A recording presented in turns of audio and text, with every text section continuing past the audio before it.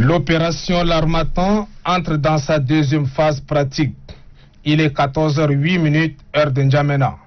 Les consignes sont données et elles sont claires. Arrêter tout individu jugé susceptible de menacer la quiétude de la population. Plusieurs secteurs, à l'image de Mandjakole, Boutaroma ou encore Bildo, jugés dangereux pour la sécurité, sont donc envahis par les forces de l'ordre. À la fin de l'opération, un résultat satisfaisant est enregistré. 402 prévenus arrêtés, une quantité importante de substances psychotropes, des armes blanches ainsi que des motos volées ou en situation irrégulière sont tous présentés.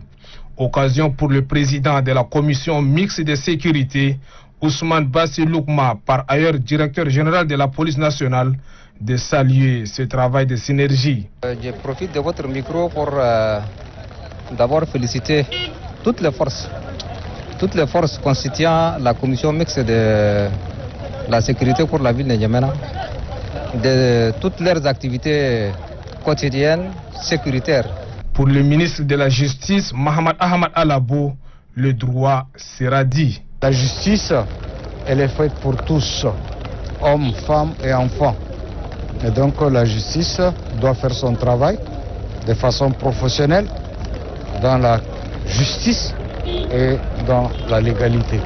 Le chef du département en charge de la sécurité publique, Suleiman Abakar Adam, estime que l'opération L'Armatan est tout simplement une réussite et aussi le fruit des hommes et femmes engagés pour la cause juste. Plus de 1000 malfrats en moins de deux mois, euh, euh, les forces de l'ordre sont arrivées à arrêter. Euh, cela prouve la volonté engagée euh, du président de, CMT euh, sur le volet sécuritaire et euh, le ministère de la Sécurité en coordination étroite avec le ministère de la Justice pour mettre à l'abri l'ensemble de la population tchadienne. Donc cette opération est, menée de façon secrète, mais avec l'aide de la population. Euh, je tiens à remercier pour sa franche collaboration avec l'ensemble des forces de l'ordre. Tout comme la première opération, la deuxième est également le résultat d'une commission mixte composée des éléments de la police nationale, de la gendarmerie nationale et de la garde nationale et nomade du Tchad. Une opération qui enregistre de plus en plus de succès grâce à son caractère discret.